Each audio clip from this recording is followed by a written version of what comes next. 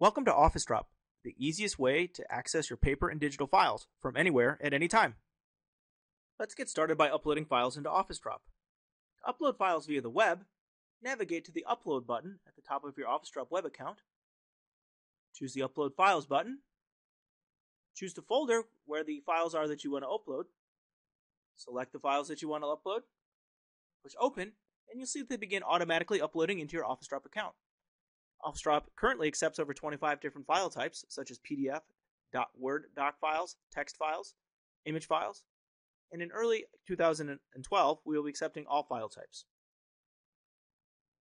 You can also scan and upload multi page PDFs from anywhere using the OfficeDrop mobile apps.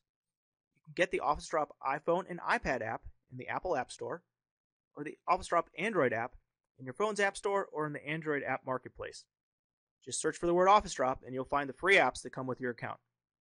Create multi page PDFs and upload them directly into your OfficeDrop account on the go.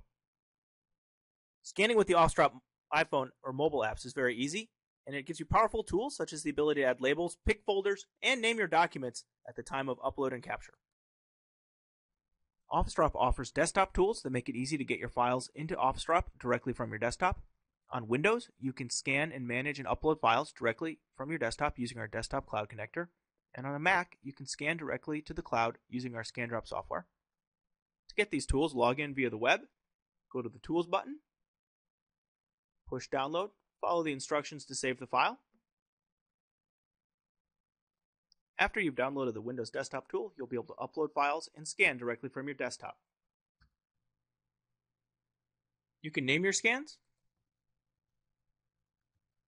reorder your pages, select folders, crop, rotate, and more using the ScanDrop desktop app, and then, best of all, upload directly into your OfficeDrop account. Thanks for trying OfficeDrop. We hope that you find that it's the best way to access your paper and digital files anywhere. If you need additional help, please visit support.officedrop.com. Thank you.